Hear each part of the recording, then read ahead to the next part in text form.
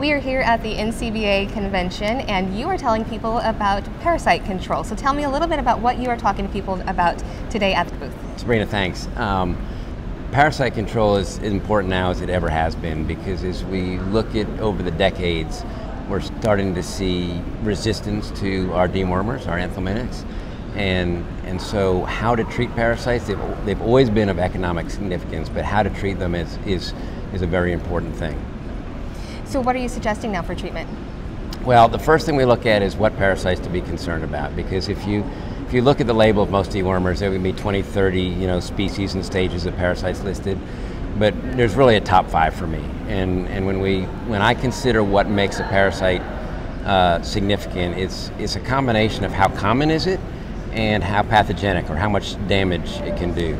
And so when we, when we look at the most common parasite um, in beef cattle, it's, it's and actually it's also the it's also the most damaging. It, it, it, has the most economic impact, and so it owns that space all by itself. When we look at parasites like, like uh, Haemonchus and and lungworms, they're pretty pathogenic. They do a lot of damage, but we see a lot less of them. And when we look at Cooperia and Esophagostomum, um, they're a lot more common, but they're compared to the other parasites, they're nowhere near as pathogenic. So we focus a lot of what we do around Ostertagia.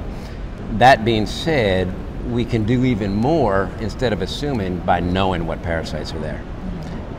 And, and the way that we know that is, is to, to do, you know, traditionally fecal egg counts are, are what we do to evaluate parasites, but the problem with fecal egg counts is that we don't know what species they are. So we don't know whether we've got a problem parasite or not. And what complicates it even more is that an adult uh, Esophagostomum, for example, may lay 2,000 eggs, where an adult Ostertagia only lays 200. And so that egg count really confuses us. Uh, the, the approach we have taken now is that we will do those egg counts, and then we're, we're working with uh, Texas A&M and their lab, and they will do what's called coproculture. And that means they'll grow the eggs up. It takes about two weeks and we know what species they are.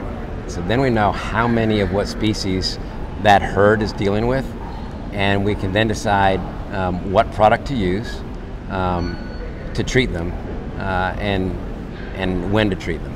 So that kind of information must be just extremely vital then to, to have to know what you're fighting. Yes. You know, at Elanco, um, we don't feel that the kitchen sink is what you want to throw at your herd. Um, everything we do has an intended consequence and an unintended consequence. And so um, we want to use the right products in the right animals at the right time.